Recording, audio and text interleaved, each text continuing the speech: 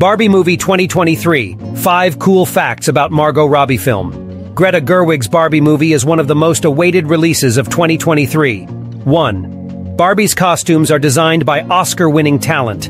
Considering how important costumes and dresses are for Barbie right from the conception of the doll, there is high anticipation about how Robbie will be dressed in the film. 2.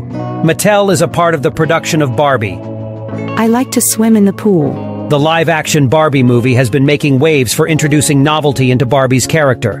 It's not so easy to be perfect. Margot Robbie's Lucky Chap and Warner Brothers are also engaged in the production alongside Mattel. 3. Noah Baumbach has co-written the film. Noah Baumbach and Greta Gerwig are both filmmakers with their own separate fan bases, owing to their spectacular contributions to modern cinema. 4. It comes with a lot of baggage. While any news about the production of a new Barbie movie is likely to suggest that the story could be the same old, the fact that Greta Gerwig is directing this one changes everything. 5. A live-action Barbie movie almost got made in 2016.